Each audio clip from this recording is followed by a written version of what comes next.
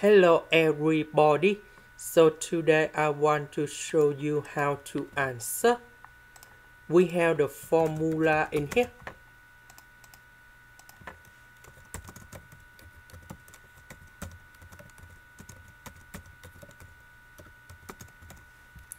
So we put number 2 go in here. So number 2 plus 1 we have number 3 the next one this is about number one. 1 plus 1 we have number 2 and the next one that is about s. And I will put about c. This is the end. Thank you for watching